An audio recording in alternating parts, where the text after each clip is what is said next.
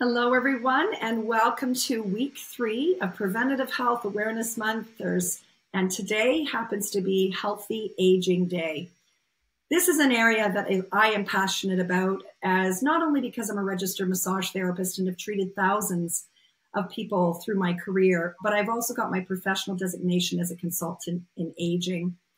And I have had the distinct pleasure and honor of loving aging parents and um, seeing the importance of that conversation and of caring for those that are aging. And there's never been um, more stats than ever in Canada. And this woman, I'm sure, is going to share some of them with us in terms of our aging population and the impact that's having not only on our system, but on the quality of lives of Canadians. And that's why discussions like we're about to have here today are critically important.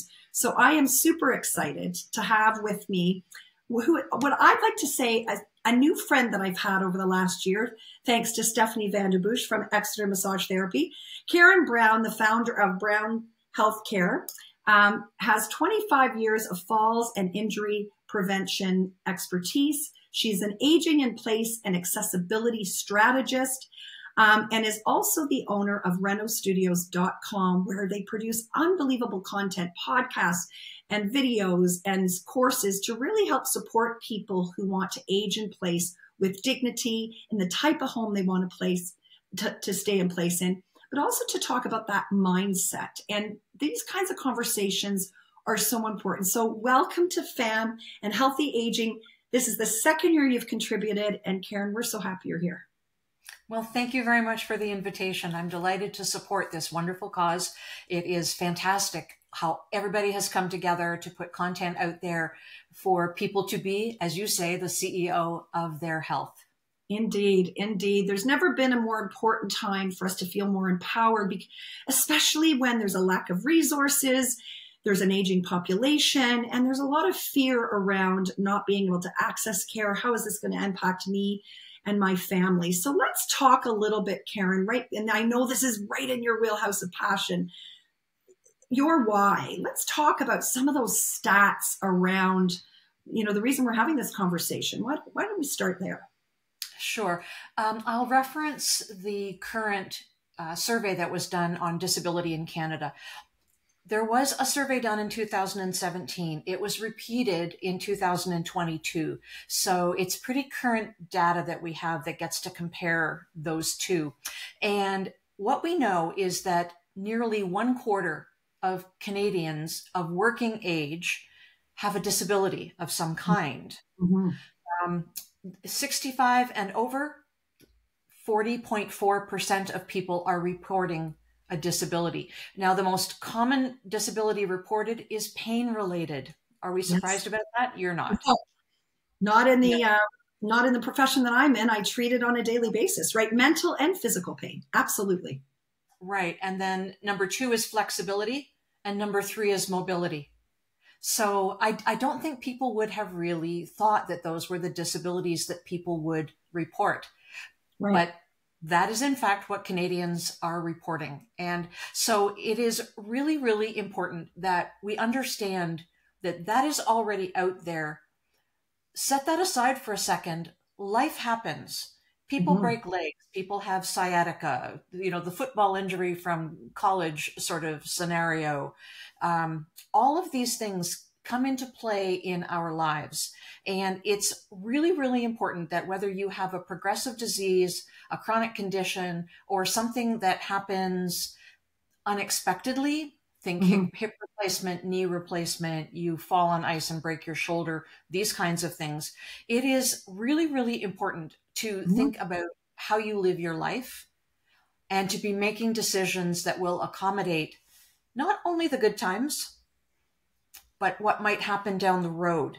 Exactly. All you have to do is look at your grandparents and see the issues that they have moving around, mobility, pain, flexibility. We all lose range of motion as we age. We don't have to. Correct. This is within our control. We can do yoga, we can do all kinds of exercises. We can get massages regularly, which I do. Yes. Um, and, and that is actually something that helps a great deal with my flexibility. Yeah. So there are all kinds of things that we can do. it's a choice. We don't always, but why we need to do things is really important. Exactly. And I think what you're raising also is the whole this whole idea of prevention, which is what this entire movement is about. And prevention not only from what are we going to do, but how are we going to think about things and how are we going to put things into place even with conversations within intergenerational family. Um, to to have these conversations so that it doesn't seem so scary when we're in a crisis when someone does have that fall or when someone does break a hip or or whatever the case may be. I think, and that's what I wanted for this day when we talk about health aging. It is really to talk also about making it okay to have conversations and to plan ahead. You know, people like you, this is what you do on a day to day basis is help to, at a person's pace, within their budget, with their lifestyle in mind, really helping them to make some decisions for themselves as they progress through life so that we can mitigate or prevent real tragedies or unbelievable undue stress, not just on the aging person, but their whole village and, and surrounding um, support systems as well. I'm sure you see that a lot. I do see that a great deal. And, and what I typically encounter in the initial phases is people who are frozen in fear. Yes, yes. They don't know what to do. They don't know where to start. They don't know who to call. I mean, there aren't a lot of people around like me. I'm actually currently working on a project remotely. The client is in California mm-hmm. and, and I'm working remotely uh, on this project with them. So, you know, if, if people are working with a healthcare team, an occupational therapist, yeah. that's a good place to start. Absolutely. But just within your own life, you start looking at how you live your life. How do you want to live your life? You know, if you're 50 years old now, what's in your mind about how you picture living your life when you are in your 70s, 80s, 90s? Right. How do you socialize? How do you engage with other people? How do you get to your appointments? Um, how do you move around your house? What brings you, joy? Yeah, I think even look, being as simple as, and I think people don't really think like this, but in our day to day, what really brings you joy? Because those are the things we should be focusing on because to support our environment that we're living in as we age, we do have to focus on those things so that you can continue to do those things that bring you joy in a safe way because that impacts both mental and physical well-being. The social determinants of the, of health is a big thing. We all saw the impact of that and still the fallout of it. You know, as we continue to walk through this post-pandemic, it's not even post-pandemic world. So I think you're right in in really starting to think about this. We don't think we we act once we have to, and that's what this whole concept of changing the mindset. You know, the beginning of February and the end of February, we're calling it mind um, mindset and health esteem because we need to change that because we've been wired to wait till something's broken or wired until we have to make a decision rather than to give us some time to think about it, talk about it. And I think you're right. Like, let's really talk about that fear. It, fear is real for people. That's why people don't go get a mammogram because what if they find something or they don't get their colon cancer checked? We're going to have a, we just had a whole day on cancer for prevention it's really important. Fear plays into this too, doesn't it? Fear is a really big thing. Um, the, the fear of what they might tell me and the fear of aging, the fear of growing older. Uh, for those with uh, chronic conditions or progressive diseases, the, the fear is amplified, of course, right. and with, with good reason. But we all need to find ways to conquer that fear and move forward. You know, for those of us who have adult children, they come into play too because I, I don't know about you, but as I age, yes. I am finding my children have opinions about how I live my life. Right. Yes. Right. And yeah. many of my clients have children who have opinions about how they are living their lives. In a perfect world, everybody would agree, but that's just not the reality of how it happens. Mm-hmm. So, you know, we, we can talk about children a little bit. Uh, families are very geographically dispersed these days. It didn't used to be that way when no. our parents were young or our grandparents were young. The nuclear family stayed very close. But now because of work conditions and the ability to travel, not to mention technology, yes. families are very dispersed. Yes. So, you know, children definitely are entitled to have opinions about their family and how they live their lives to a point. Of course. As long as the parents are of sound mind, cognitively in good health, and able to make those decisions for themselves. Right. It's very difficult to suggest that they ought to allow anybody else to make those decisions, much less their children. But let's understand the children's fears. If your children don't think that you can be safe, if they think that you can't drive your car safely anymore, if if you are forgetting to take your medication, if you're not showing up for appointments because you forgot, they have a legitimate concern. That's right. And there need to be conversations back to the conversations. Yes. There have to be conversations where these issues are discussed openly and honestly over a period of time. It's not a one and done, but over right. a period of time. And you can put strategies in place to mitigate the fears because if your children have fears, you have fears. You know when you're not taking medication, you know the guilt that you feel or the shame that you feel when you miss an appointment or you know you should have done something and you forgot. Um, or you're frustrated. You're frustrated with yourself because i think in all of us and I, I mean i'm only 56 years old but there's even signs where you think oh like 20 years ago i wouldn't i wouldn't have stumbled to do that. And now i'm like it's different. And we get frustrated because we expect in our minds we think oh we've got everything covered. But as we age it can be challenging. And to your point with kids I, I, I hope we want there needs to be a mutual respect both ways because the kids often and this isn't always every every family but they're often coming to it with the right intention. They're like you said they're concerned.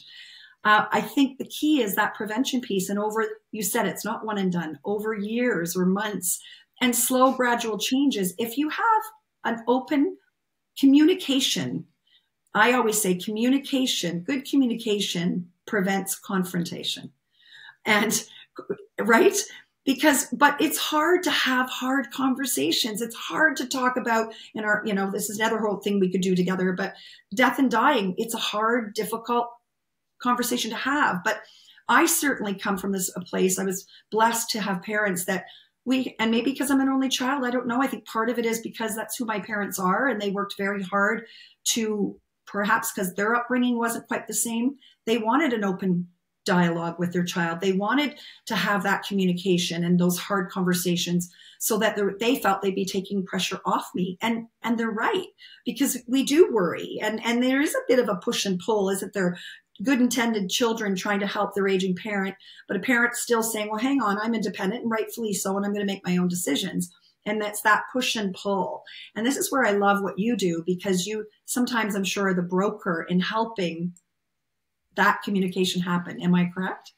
Oh yes, that that happens. Um, it's not ideally the position I would like to be in, but it definitely happens, and you have to give people the respect to let them have the conversation. It it's not about my opinion, no. and it's not about what I think is going to be best. It is totally about the elderly person the person with a disability, the person with a chronic condition, they are in charge of their health care as long as they are cognitively well. Yes. They are in charge. And I fully recognize that their children may have one opinion, their healthcare team may have another, their friends may have yet another opinion. They may Google stuff and find a myriad of opinions out there. So there's a lot of conflicting white noise in their universe. Um, right. But it's ever so important to make sure that you put solutions in place so that you can have the kind of life that you envision for yourself, yes. but that also keep your children comfortable. You know, um, children do have to be very comfortable with what happens. Otherwise their anxiety is going to continue and they it'll be like a constant never ending nye, nye, nye, nye, often like what we felt like as parents when our children were growing up. You know we were always repeating things to our children and they wouldn't remember. It now it becomes the opposite where children are parenting their parents right. with, with conversations that just never seem to end. So the conversation needs to be such that solutions are put forward, compromises are reached, and something is operationalized. Something yes. is put in place. Yes. And and and that'll be good until it's not. Let's be realistic. People's conditions can change, the memory changes. Um, but you know, our our ability to make those kinds of decisions is time limited. Yes. And that's that's where things might get dark for people and that's where they shut down. They they don't want to hear it but i am telling you the reality is that you only have so much time to make a decision and i will give you a good example and i know that you have one as well. Yes. My grandmother lived in her home that she walked into with her newlywed husband the day that they were married they lived in it through their 50th anniversary. My grandfather passed away. She continued living in the home by herself. It's a two story red brick house with a basement. And so the bedrooms were upstairs, the living room, dining room, kitchen on the main floor, and of course the basement was the basement. She was having a nap one afternoon, fell asleep on the couch in the living room. Somebody rang the doorbell and she leapt up off the couch. Her leg had gone to sleep, which oh. she mm. didn't realize she fell, broke her leg, her shin, her ankle, multiple places. And she was taken to the hospital. And while she was at the hospital, the doctors said to her, That's it, you can't go home again. You cannot go back to your home. It is not suitable for your lifestyle. Two story house, there was no way to make a bedroom on the main floor, and on and on and on she never went home again. I can't tell you the distress that that brought to her. I bet. Also brought a lot of stress to my mother and her sister, who had to go through a house with almost 60 years of stuff in it and yeah. clean it out yeah. because they had never done that. It took them months and months and months. But my grandmother wanted to go home and, and just gather a few things, but they knew better. They knew that if she walked in those doors, they'd never get her back out again. So she was she was transferred from the hospital to the long term care facility where her life continued for a few years and then she passed away. Right. Yeah, that was, a certain, that was a condition where the decision was taken completely out of her hands. She had not made a decision to change her surroundings to better support her needs in life. And this is what happened. And then it was too late and it was how it became a serious safety issue and she couldn't go back home. And that's why we want to have these discussions. And what i loved about what you said um, and and that story of your grandmother is not unfamiliar to many canadians that's for sure. No. and now sometimes there's it's hard to get into long-term care or seniors homes that they can't afford and it's a real stressor. And that's why i'm really passionate about what we're doing and wanted to have this conversation with you karen about so what can we do in the home over the course of time, and you said something that was really, that I really you know, stuck in my head. You know, something may be working for a while and then it won't. And being open to understanding that that's not a failure, but just, you know, how human of us and life will throw us curveballs. But if we're having open conversations, if we have an integrative health team and we're aware because that we have some options and you start to look at them and implement them, A, to either mitigate potential falls or mitigate issues, um, but also so that you can make more informed decisions and transition. You may eventually have to go into assisted living. That may be the best circumstance for you, and you're mentally may get there. But I think there's something that we all deserve, and you said it because that's your mission. You want everybody to have dignity, and I, which I I feel aging. I want people to feel that they're aging with dignity and with some empowerment. And sometimes yes. our fear stops us from being empowered because it's overwhelming. We don't know where to look. I don't know where to start. It seems like a tsunami. And that's what, so can we talk just briefly? Because I know we could do another whole podcast on on what could you do in your home. And we're going to talk a little bit more of that. We're, we're coming back with Karen. Don't you worry. We're doing another podcast with her. But just on a high level, some simple changes before somebody even needs, for, for example, a chairlift in their house or a ramp. Say they're mobile, but when you're thinking about falls and fracture prevention, or if you're thinking about, you know, living safely and independently in your home, what are some small, simple things that don't cost a lot that people might not think of that they could do to put themselves in the best position possible? Well, I can I can tell you a few free things, and, and we're going to do this in another podcast as well. But I can tell you some free things. Pick up the throw rugs. Yes. Get rid of them. They are they are the devil. yes. You, they're pretty.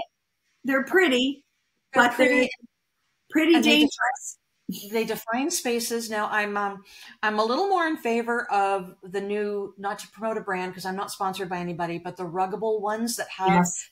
the under padding yeah they, they are marginally better yeah but but they can still be tripped over yes. i have them in my home and and the, the odd time you know i do trip over a lip or something but you know i don't fall so I'm not at that point in my life yet, but throw rugs, pick them up, get rid of them. They're not a good thing. Same goes for carpet. Carpet is not a good uh, surface to walk on. So to the extent that you can get rid of that kind of walking surface. Um, also the transitions between rooms, you know, that little quarter inch, quarter round yeah. piece of yes. wood. Don't like them. The transition needs to be smooth. You can look at your footwear. How many of us have that oh my gosh, the comfortable pair of slippers, but the tread is absolutely bald because you've had it for so many years. Same with your shoes, same with your boots. You've got to look at the tread on your footwear every single year and throw out. I have, I have to interject because I have a personal story. Rest my father's soul. I love him to death. Uh, love him to death. I love him to pieces. Um, in November before he passed away, he came to my home for my son's birthday. And my my mom and dad, you know, the grandkids are everything to them. And my dad was always a guy to be dressed to a T. Always looked his best. It didn't matter when he was 88 or when he was 18. He, you had a nice crisp shirt. You had nice Italian shoes. And he fought my mother that he wanted to wear these Italian shoes on a November day to a birthday party for his grandson at our home. Yep. So unfortunately, coming into our house because there's no proper tread, he went down and fractured his his humerus. Um, this is not uncommon, and and how human of us, you know, whether you're 88 or you're 18, we want to look our best, we want to feel our best, we want to feel young, and that's important. But I think sometimes we do have to have that mindset shift that I also want to live well until I take my last breath and therefore making some of these changes, small changes, like you said, and this is why we're talking about it. And as a therapist, this is what I talk about all the time. Balance is another one. You know, doing your balance exercises. My mom's 81 and does have osteoporosis. She religiously does her balance exercises, and which is important. And her, you know, working her muscles and all the things necessary that we lose as we age.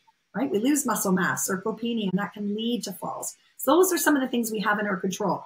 Proper nutrition, proper sleep, proper water, all those things. But you know, when you look at the home, those were some great simple tips. And I know we're going to do a lot more in the next podcast about what else you can do more oh, extensively. Oh, I've got so much more to say on this subject for sure. Um, you mentioned hydration. That is really important. Yes. And one of the times last fall when I went for a massage, my therapist said, Your skin is hard. You need to drink more.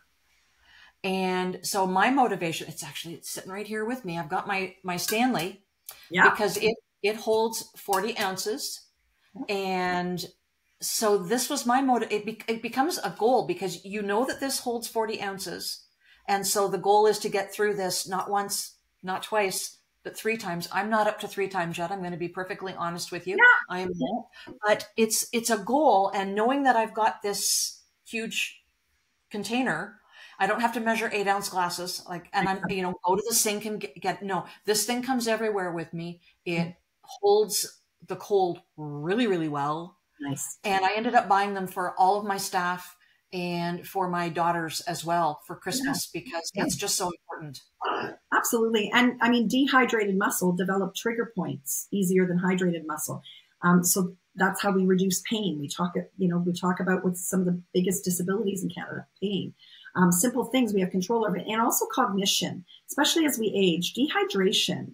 People don't realize dehydration can cause you to be dizzy. It can cause you to not have cognition the way you, you would otherwise. And so simply making sure you're hydrated, and it's easy to not do that, especially if you're a senior living on your own and you you know you just forget or you're not feeling well and you forget to drink. My mom is uh, she always drinks water. She was sick before the Christmas, like half the world was. And boy, oh boy, you can dehydrate pretty quickly when you're not feeling well. You're by yourself and you're forgetting to drink. And the way it makes you feel, the minute you know they hydrate you, all of a sudden you've come to life. It, it's literally like a shriveled, you know, grape, and all of a sudden it's plump and, and you're alive again. So I think we there's little things, um, and although we're you know talking about renos here, but that is also helping to live at home safely and also helping your kids not worry about you as much when you're when you're doing it's those a, little things day to day. A real life reno, and that's what my podcast is called, and what my television show is called, Real Life Reno. It's how we think too. You have to make that real life renovation to how you think about things. Now, I want to touch on um, a couple of things you mentioned. You talked about exercise, ever yeah. so important. Yeah. And where can you find that? Well, you can find it probably at your local rec center. You can be a member of a Y. If none of those things are there for you financially or you don't have the ability to travel to them, if you have internet, YouTube, YouTube has a stockpile of great energy or sorry, great exercises, um, yoga, Tai Chi, all kinds of balance things. And whether you are sitting I mean, chair yoga is a thing. You just put in the search bar chair yoga or standing Absolutely. and you need to hold on to something or whether you can stand independently. These things are available to you for free as long as you have an internet connection. And most people do these days. Totally. The other thing I wanted to touch on was the fall that your father had. Um, falls are something that once older people start to do that, they are very reluctant to admit it. Yes. Oftentimes, a fall will start with the ability to put your arms out and break the fall. Yeah. You might break a wrist. Yeah. Next time you fall, your wrist won't have the ability to support you. So it might be the elbow or the shoulder. And ultimately, those things won't support you either. And it will be a hip. It, it doesn't get better. It goes from one thing to another and gets worse and worse and worse. 50% of falls at least happen within the home. Yes. So don't think they just happen outdoors. That's simply not the case. Also understand that most falls are preventable. Yes. If you have proper footwear, if you're outside in the winter, um, go look at the Toronto Rehab Institute. They have a lab that tests footwear. I'm not sure that they've done it in the recent year or two, but they did, I know, three years ago. And they released their top five, I believe, winter boots. I went and got the number one boot. They were at Mark's Work Wearhouse. I went and got them right away because they were the one that was going to be best on snowy and icy conditions, which of course are what we have in Canada and in Ontario, in the part of Ontario That's a where fantastic nugget and tip. You know what we're going to do um, in the notes of the show? We're going to make sure we put a link. I'll t- I'll check that out and see if they do have it updated because that's just a practical, really great tip um, and something you can empower you to do, or your kids can, you know, buy them for you, um, you know, to make sure that you're going to be safe. That's a great tip. Yeah, there are all kinds of things like that that that people can do, but the the crux of the matter is taking your own power. If yes. you are fearful, you are giving power to the fear. You need to take that back and take your own power to take charge of your life.